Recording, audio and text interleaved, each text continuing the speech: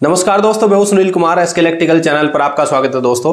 दोस्तों, bending machine की हमारी जो वीडियो है, उस पर कुछ कमेंट ऐसे आए हैं जिन्होंने कहा है कि स्पार्टन की जो एस बी एम बयालीस है, जो जिसमें प्रोक्सीमिटी सेंसर लगे होते हैं, उसके डायग्राम के बारे में हम आपको बताएँ। तो हमने यही कोशिश की है कि हम आपको उसकी हर एक डिटेल के बारे में बताएँगे। तो उसका डायग्राम बनाने में थोड़ा टाइम लगता है, बहुत ज़्यादा टाइम लग जाता है, थोड़ा तो क्या कह सकते हैं। तो हमने डायग्राम को पहले ही बना लिया है। तो हम इसी पे आपको समझाने की कोशिश करेंगे और इसमें जो हमने समझाया वो बिल्कुल एक्यूरेट है। आप हम पे भरोसा कर सकते हो और इसी के हिसाब से आप काम कर सकते हो चेक कर सकते हो मशीन को तो उसमें आपको कोई दिक्कत नहीं होगी। और दोस्तों, ऐसी ही इंटरेस्टिंग वीडियो के लिए स्पेशल कंस्ट्रक्शन साइट से जुड़ी हुई, चाहे वो इलेक्ट्रिकल हो या मैकेनिकल हो, अगर आप हमारे चैनल पर नए हो तो हमारे चैनल को सब्सक्राइब ज़रूर करें।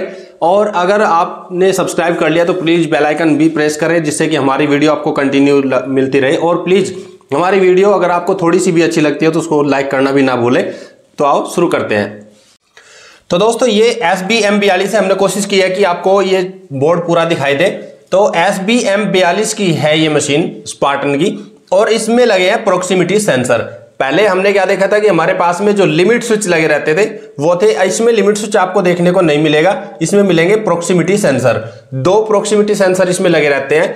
तो इसका ये ऊपर हमने कंट्रोल डेस्क बनाया है, जहाँ पर ये इसका पैनल रहता है ऑपरेटिंग सिस्टम का, जिसमें एक हमें इंडिकेटर मिल जाता है, एक हमें फॉरवर्ड का बटन मिल जाता है, यानी पुश बटन और ये पुश बटन एनओ होता है, और यहाँ पे ये इसमें एनओ एनसी दोनों लगे रहते हैं, ये होता है रिवर्स का रिवर्स का पुश बटन और ये एक इमरजेंसी इसमें यहाँ पे रहता है, और एक इमरजेंसी इसमें साइड में रहता है। तो यहाँ से शुरू कर देते हैं 415 वोल्ट एसी हम देंगे ट्रांसफार्मर में। ये हमने ट्रांसफार्मर बनाया है तो इसकी जो इनपुट है वो 415 वोल्ट की है। इसमें जाएँगे 415 वोल्ट एसी। और इसमें से दो वाइंडिंग हमें मिलती है। एक वाइंडिंग से हमें मिलेगा, ये प्राइमरी वाइंडिंग होती है जिसमें हमें इनपुट देते हैं, और ये सेकेंडरी वाइंडिंग होती है। तो सेकेंडरी वाइंडिंग मिलती है हमारे पास में, इसमें दो। एक में मिलते हैं साठ वोल्ट, जो ब्रेकिंग सिस्टम के लिए है। ये एम जो दर्शाता है मोटर है। और एक मिलता है 25 वोल्ट। इसमें 25 लिखा हुआ है, पहले ड्राइंगों में हमें 24 वोल्ट लिखा मिलता था तो इसमें इसमें 25 वोल्ट लिखा हुआ मिल रहा है तो इसमें एक वाइंडिंग 25 वोल्ट की हो गई और एक 60 वोल्ट की हो गई। यहाँ पे हमें एसी ही मिलते हैं वोल्टेज ये भी ध्यान रखें। तो पहले ब्रेक का क्लियर कर लेते हैं तो साठ वोल्ट, ये हमारे रेक्टिफायर में चले जाते हैं, ये रेक्टिफायर है। तो रेक्टिफायर में चले जाने के बाद में ये एसी से डीसी कन्वर्ट हो जाते हैं और ये वोल्ट साठ ही रहते हैं, बस ये कन्वर्ट हो जाते हैं एसी से डीसी में। और ये यहाँ पे कॉन्टेक्टर लगा हुआ है ये कॉन्ट्रेक्टर के थ्रू होते हुए, ये कॉन्ट्रेक्टर तीन, यानी सी थ्री हमने इसको मेंशन नहीं किया है तो हम इसमें सी थ्री लिख देते हैं। तो ये कॉन्ट्रेक्टर है सी थ्री तो यहाँ से कॉन्ट्रेक्टर तीन से होता हुआ ये मोटर में चली जाते हैं। मोटर की किसी दो वाइंडिंग में ये एंटर कर जाते हैं और वहाँ से इसमें ब्रेक लग जाता है। तो हमने इसमें ये सारा प्रोग्राम दिया है कि अगर आपको ऐसा इसमें निशान दिखाई दे तो वो एनसी है और ऐसा निशान ये एनओ है और ये आर जो है वो रिले है सी जो है वो कॉन्ट्रेक्टर है। टी जो है वो टाइमर है और एफ़ डब्ल्यू डी जो है ना फॉरवर्ड यानी आगे चलने वाला प्रोग्राम है और आर ई वी यानी रिवर्स पीछे चलने वाला प्रोग्राम है। तो इसको आप अच्छे से समझ सकते हैं। तो सबसे पहले हम 25 वोल्ट देख लेते हैं, यहाँ से कहाँ चला गया। ये पहले तो ज़ीरो वोल्ट ज़ीरो वोल्ट दोनों में जाएगा और वो सेम ही रहेगा। ये बीच की जो है दोनों वाइंडिंग ये सेम ही रहेगा। इसमें से दो तार निकलेंगे ज़ीरो वोल्ट के। एक चला जाएगा साठ वोल्ट ब्रेकिंग के लिए और एक चला जाएगा आपका ज़ीरो वोल्ट यहाँ पे जो 25 वोल्ट की ऑपरेटिंग सिस्टम है उसके लिए। तो सबसे पहले एक इसमें से चला गया है यहाँ पे ज़ीरो वोल्ट ये आपके इंडिकेटर में। और इंडिकेटर में सीधा फिर यहाँ से 25 वोल्ट जो निकला, वो भी आपका चला गया है। तो यहाँ तक ये 25 वोल्ट ऑपरेट हो गया और ये इंडिकेटर जल गया। जब इसमें सप्लाई आ जाएगी तो यहाँ पे आपको इंडिकेटर ग्लो होने लगेगा, दिखने लगेगा। इसके बाद में यहाँ इसमें लगा रहता है वीपीआर तो ये वीपीआर होता है वोल्टेज प्रोटेक्टर रिले तो अगर ओवर वोल्टेज या अंडर वोल्टेज हो जाए तो उसमें ये मशीन को बंद रखता है और मशीन को सेफ़ रखता है। तो उसके लिए लगा रहता है और प्लस इसमें सिंगल फेस प्रिवेंटर भी इंक्लूड रहता है। तो वो इसका भी काम करता है। अगर एक फेस नहीं भी आया है तो वो भी तब भी इसको बंद कर देगा। इसके बाद इमरजेंसी लगा रहता है। तो वीपीआर के बाद में एक सप्लाई चली गई है 25 वोल्ट वाली। ये हमारा सीधा चला गया ब्रेकिंग सिस्टम में। तो ब्रेकिंग सिस्टम है, ये कॉन्टेक्टर वन के एनसी से होता हुआ, कॉन्टेक्टर टू के एनसी से होता हुआ, और ये तेईस नंबर तार है, ये बाईस नंबर तार तार भी हमने इसमें मेंशन करने की कोशिश की है। तो कॉन्टेक्टर वन और टू दोनों के एनसी से होता हुआ, और एनसी का ये समझ ले कि जिसके एनसी से जाएगा तो वहाँ से वो बंद होने की गुंजाइश रखता है। अगर इनमें से कोई सा भी चलेगा तो कॉन्ट्रेक्टर का इसका प्रोग्राम जहाँ पे जा रहा है, ये बंद हो जाएगा। तो ये एनसी इसको बंद रखने की हिम्मत रखते हैं, ये आप ध्यान रखें। तो कॉन्ट्रेक्टर वन और टू जब तक ये बंद रहेगा, इसके एनसी से होती हुई सप्लाई जाती रहेगी और ये टाइमर में जाएगी। टाइमर के एनसी से होता हुआ तो ये टाइमर टू का एनसी है, जो ब्रेकिंग का टाइमर है। तो ये डायरेक्ट पहले टाइमर में जाएगी और टाइमर के एनसी से होती हुई तब जाके सी थ्री कॉन्ट्रेक्टर तीन, जो ब्रेक का कॉन्ट्रेक्टर है, ये वाला। तब जाके इसकी ऑपरेटिंग क्वेल में ए वन ए टू में चली जाएगी। ए टू में हमने ज़ीरो वोल्ट पहले से ही दे रखा है सब में। आप ये देख सकते हैं ज़ीरो वोल्ट इसमें सब में पहले से ही आया है। तो अब इसमें ब्रेक का आपने अच्छे से समझ लिया कि कॉन्ट्रेक्टर वन और कॉन्ट्रेक्टर टू के एनसी से होता हुआ ब्रेक की सप्लाई और सीधी चली जाती है ये टाइमर के ए वन में। और टाइमर को ऑपरेट होने में लगता है आधा सेकंड पॉइंट फाइव सेकंड का प्रोग्राम रहता है इसका। और तब तक ये एनसी से सप्लाई देता रहता है और इस कॉन्ट्रेक्टर को चालू रखता है कॉन्ट्रेक्टर तीन को। तो कॉन्ट्रेक्टर तीन की ही एक ऑपरेटिंग क्वेल है। ये सारी की सारी ऑपरेटिंग क्वेल ही है। ये कॉन्ट्रेक्टर तीन की ऑपरेटिंग क्वेल है। तो इसमें चालू होने में आधा आधा सेकंड लगेगा। जब ये चालू हो जाएगा तो ये संपर्क टूट जाएगा और ये कॉन्ट्रेक्टर बंद हो जाएगा। जब ये टाइमर चालू हो जाएगा आधा सेकंड के बाद तो ये संपर्क टूट जाएगा और फिर ये कॉन्ट्रेक्टर बंद हो जाएगा। तो आधा सेकंड के लिए ब्रेक लगेगा। तो ब्रेक का आपकी समझ में ये आ गया। अब फॉरवर्ड का देख लेते हैं इसमें। फिर यहाँ से जो सप्लाई या इमरजेंसी को पार करके जो गई है वो यहाँ से ऐसे होती हुई सीधी दूसरे इमरजेंसी में चली गई है और ये दो इमरजेंसी इसमें यूज़ होते रहते हैं। एक तो साइड में लगा रहता है और एक पैनल में लगा रहता है जहाँ से हम ऑपरेट करते हैं, खड़े होके। तो इसमें से, यहाँ से इमरजेंसी से हमें ये पूरा कहाँ पे मिला सप्लाई एक तो हमें रिवर्स में मिला, एक फॉरवर्ड में मिला तो ये आपस में लुप रहते हैं। तो यहाँ से इमरजेंसी से पार होके रिवर्स के पुश बटन में फॉरवर्ड के पुश बटन में ये सप्लाई चली गई। और यहीं से फिर ये नीचे के प्रोग्राम में चली जाती है। फॉरवर्ड का ही हम देख लेते हैं, पहले फुट स्विच को देख लेते हैं। तो ये जो सप्लाई पार होके आई है, इसी से ही हमारा ये पूरी लाइन है, इसी में से ही सारे के सारे ही जाते रहेंगे। और जहाँ से ये क्रॉस है तो वो इससे टच नहीं है, वो अलग है। तो यहाँ से हम देख लेते हैं, इस सप्लाई से जो इमरजेंसी से पार होके आई है तो हम पहले ही ले लेते हैं फुट स्विच इसी लाइन से ये एक नंबर तार से ये फुट स्विच आया। और फुट स्विच एक नंबर तार, ये सीधा इसके एनो एनो पुश बटन होता है इसमें समझो, फुट स्विच में जो हम दबाते हैं वो एनो होता है। तो ये दो नंबर तार होता हुआ ये आर वन में जाता है, यानी रिले वन। तो आर हो गया रिले रिले वन की ऑपरेटिंग क्वेल में जाता है, रिले वन ऑपरेट हो जाती है। और रिले वन के ऑपरेट होने से आप ये देख सकते हैं कि यहाँ से ये सप्लाई जब रिले वन यहाँ से ऑपरेट हो जाएगी तो रिले वन को सप्लाई यहाँ से मिलने लगेगी, इसका एनओ ऑन हो जाएगा ये। तो आप ये ना समझे कि हमने फुट स्विच को एक बार दबा दिया और रिले ऑपरेट हो गई और ये होल्डिंग सप्लाई इसको यहाँ से मिलने लगी। ऐसा नहीं है। इसकी होल्डिंग सप्लाई से इसकी ऑपरेटिंग क्वेल का कोई मतलब नहीं है। यहाँ से हम जब तक फुट स्विच दबा कर रखेंगे, तभी तक आर वन ऑपरेट रहेगी। इसका ऐसा प्रोग्राम है, फुट स्विच से अगर पैर हटा तो ये समझो मशीन बंद हो जाएगी।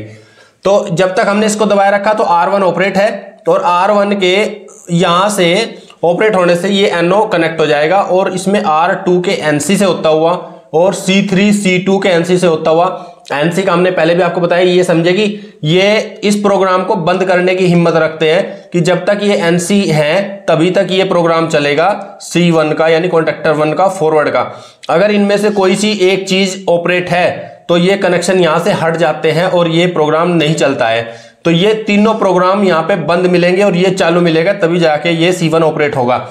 तो आर वन रिले वन का यहाँ से सप्लाई आगे 25 वोल्ट फिर इसके एनसी से पार हो गई। कॉन्ट्रेक्टर तीन और कॉन्ट्रेक्टर टू के एनसी से पार हो गई, तभी जाके इसके ए वन में जाएगी कॉन्ट्रेक्टर वन के। तब जाके कॉन्ट्रेक्टर वन ऑपरेट होगा। तो यहाँ तक आपकी समझ में आ गया होगा कि फुट स्विच हमने दबाया रिले ने यहाँ से सप्लाई ली और इसके एनसी से आर टू के एनसी से सी थ्री के, यानी कॉन्ट्रेक्टर तीन के कॉन्ट्रेक्टर दो के एनसी से। ये सप्लाई पार होती, तब जाके कॉन्ट्रेक्टर वन में पहुंचेगी और मशीन फॉरवर्ड यानी आगे चलेगी। तो ये आगे का प्रोग्राम हो गया। इसके अलावा, ये तो फुट स्विच का हो गया। इसके अलावा यहाँ पे पुश बटन का रोल देख लो आप। फॉरवर्ड का पुश बटन का देख लेते हैं। फॉरवर्ड का पुश बटन यहाँ से सप्लाई हमें मिलने लगी। जब हम पुश बटन दबाएँगे तो फॉरवर्ड आगे आगे चलाने वाला बटन है, ध्यान रखें। तो ये सप्लाई यहाँ से पार होती हुई। इससे इस लाइन से इसका कोई मतलब नहीं है और इस लाइन से भी कोई मतलब नहीं है। ये सप्लाई सीधी यहाँ पे, यहाँ पहुँची है। और आर वन यानी रिले वन का जो एनओ है ना, उसे पार करके क्योंकि रिले वन का एन एनओ काम करता है फुट स्विच के साथ में। और ये यहाँ पे एन एनओ के बाद में लगी है तो आर टू का एनसी सी सी थ्री का एनसी सी सी टू का एनसी ये सब प्रोग्राम होते हुए जब तक हम बटन को दबा के रखेंगे, तभी तक ये कॉन्ट्रेक्टर चलेगा, नहीं तो नहीं चलेगा। अगर हमने ये बटन दबाना छोड़ दिया तो ये कॉन्ट्रेक्टर नहीं चलेगा। तो इसमें ऑटो का नहीं है, ये मैनुअल प्रोग्राम होता है। फिर इसके बाद में हम देख लेते हैं कि जब हम इसको घुमाते हुए यहाँ यहाँ से हमने दबा के रखा या फिर फुट स्विच हमने दबा के रखा और वो मशीन यहाँ पे प्रोक्सीमिटी सेंसर पे पहुँच गई। तो ये एक किस्म का मेटल डिटेक्टर ही होता है। जब इसके सामने में लोकेटर पिन जाता है तो ये ऑन हो जाता है। तो इसका एनसी पॉइंट है ये। ये एनओ पॉइंट है। एनसी नहीं है ये। ये एनओ पॉइंट है। क्योंकि ये खुला हुआ है तो हमने यहाँ पे समझाया कि जो खुला पॉइंट है, वो एनओ है नॉर्मल ओपन यानी खुला हुआ। तो प्रोक्सीमिटी सेंसर जब ऑन होगा तो यहाँ से ये सप्लाई ऑन करेगा और ये किसको ऑपरेट करेगा? आर टू को। रिले टू को। और रिले टू इंटरलॉक किसको करती है? यहाँ पे सी वन को। तो अगर ये ऑपरेट हो गई, यहाँ पे जब प्रोक्सीमिटी सेंसर ऑन होगा तो ये आर टू ऑपरेट हो जाएगी और इसके ऑपरेट होने से क्या होगा? सी वन कॉन्टेक्टर वन का संपर्क यहाँ से टूट जाएगा। और यहाँ से जब संपर्क टूटेगा तो ये तो बंद हो जाएगा और ये आर टू ऑपरेट होगी तो आर टू यहाँ पर देख लो, फिर ये होल्ड हो जाएगी, यहाँ पे यहाँ से ये जो इसका रिवर्स वाला जो पुश बटन है, उसमें एक तो एनओ पॉइंट लगा रहेगा और एक ये एनसी लगा रहेगा। तो उसके एनसी पॉइंट से ये आर टू होल्ड हो जाएगी, यहाँ से सप्लाई लेने लगेगी और आर फोर के एनसी से। इसको अगर बंद कर सकती है आर टू को तो वो है आर फोर तो ये कब बंद होगी?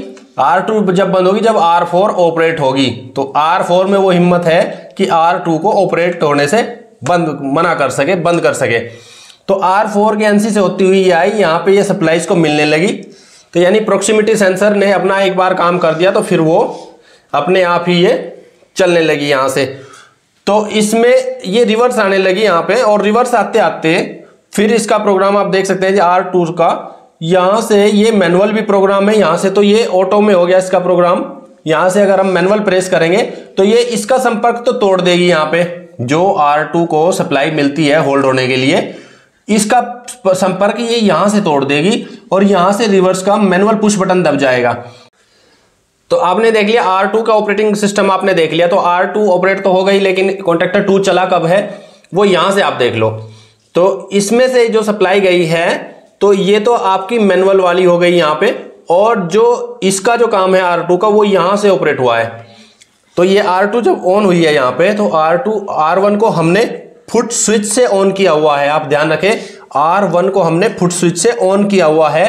तो ये ऑन है और ये ऑन है तो इसको सप्लाई मिल गई और R2 ऑन हो गई प्रोक्सीमिटी सेंसर से। R2 ऑपरेट कर दिए प्रोक्सीमिटी सेंसर ने। तो R2 और R1 दोनों से सप्लाई अब पार हो गई है।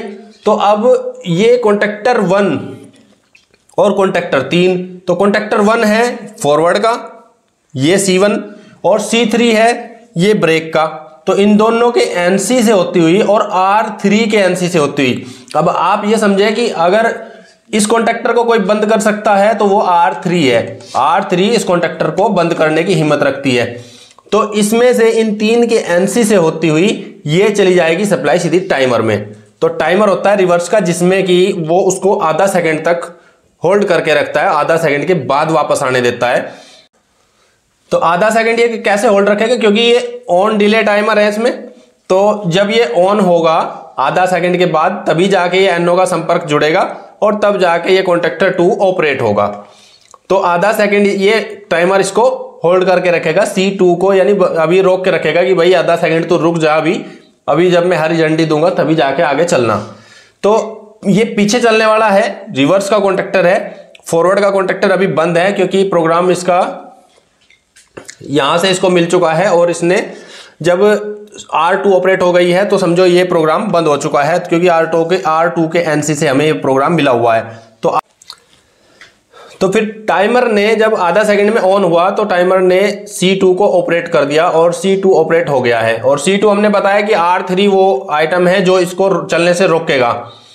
तो यहाँ पे हम देख लेते हैं कि जब वो होम पोजीशन पे पहुँचता है होम पोजीशन में भी प्रोक्सीमिटी सेंसर लगा हुआ है। ये एच प्रोक्सी जो हमने लिखा है, ये होम पोजीशन का प्रोक्सीमिटी सेंसर है। तो जब वो होम पोजीशन की जगह, यानी जहाँ से मशीन स्टार्टिंग में चलती है, वहीं पहुँच जाती है। तो ये होम पोजीशन का प्रोक्सीमिटी सेंसर है। ये इसको बंद करता है और जैसे ही ये ऑन होता है, वहाँ पे जब लोकेटर पिन पहुँचती है तो वहाँ पे ये फिर ऑन हो जाता है और ऑन होके यहाँ से ये संपर्क जब जुड़ जाएगा, इसका ये एनो पॉइंट है। तो ये एनओ पॉइंट जब जुड़ जाएगा तो ये क्या करेगा? C1 जो कि पहले से ही बंद पड़ा हुआ है कॉन्ट्रेक्टर C1 इसके एनसी से होता हुआ R3 को ऑपरेट कर देगा। और R3 हमने आपको यहीं पे बताया कि R3 वो आइटम है जो C2 को बंद करेगा। तो जैसे ही R3 को यहाँ से सप्लाई मिलनी शुरू हुई R3 ऑपरेट हो गई और R3 में हमने आपको बता दिया कि R3 में वो हिम्मत है जो C2 को बंद करेगी। तो C2 यानी कॉन्ट्रेक्टर 2 यानी रिवर्स का यानी मशीन को पीछे जब चलती है तो वो रिवर्स कॉन्ट्रेक्टर चलाता है और वहाँ पे उसको चलने से वो बंद कर देगी, क्योंकि वो होम पोजिशन पे पहुँच चुकी होगी। इसके बाद में, अब इसको ये प्रोक्सीमिटी सेंसर तो एक ही बार काम करता है, लेकिन उसको फिर होल्डिंग सप्लाई कहाँ से मिलती है? आर थ्री के एनओ से, क्योंकि प्रोक्सीमिटी सेंसर के आगे जो लोकेटर पिन आती है, वो सिर्फ़ कुछ देर के लिए आती है, लेकिन उसके बाद में फिर उसको सप्लाई मिलती है इसके एनओ से।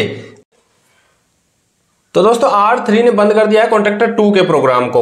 अब आर थ्री ऑपरेट रहेगी क्योंकि यहाँ पे आर थ्री को यहाँ से होल्डिंग सप्लाई मिल रही है और ये आर थ्री ये कॉन्ट्रेक्टर वन भी बंद पड़ा है तो ये सप्लाई इसको मिलेगी यहाँ से। तो अब जब हम यहाँ पे इसको ये देखते हैं कि आर वन जो कि हमारा ये है, इसको, इसने ऑपरेट किया हुआ है। तो जब तक हमने इसको ऑपरेट किया हुआ है तो तब तक तो ये यहाँ से सप्लाई नहीं मिलेगी। तब जब हमने इससे पैर हटा लिया तब इसको आर वन के एनसी से भी सप्लाई मिलेगी और आर थ्री के एनओ से होती हुई इसमें आर फोर को ऑपरेट करेगी ये। तो जब हम इससे पैर हटा लेंगे फुट स्विच से तो ये सप्लाई यहाँ से मिल जाएगी आर वन के एनसी से और आर थ्री जो कि ऑपरेट है, क्योंकि उसने कॉन्ट्रेक्टर टू को बंद किया हुआ है तो आर थ्री के एनओ से सप्लाई हो जाएगी और ये आर फोर को ऑपरेट कर देगी, क्योंकि आर फोर इसमें इंटरलॉक करती है, इसको आर टू को। ये आर टू को ऑपरेट नहीं होने देगी यहाँ से, क्योंकि जब तक आर फोर ऑपरेट है तो आर फोर ने इंटरलॉक किया हुआ है आर टू को। आर टू नहीं ऑपरेट हो पाएगी जब तक ये आर फोर चालू है। तो आर फोर हमें यहाँ पे आर आर टू को, यानी रिले टू को, जो कि रिवर्स के कॉन्ट्रेक्टर के लिए लगती है, इसको ऑपरेट होने से मना करती है।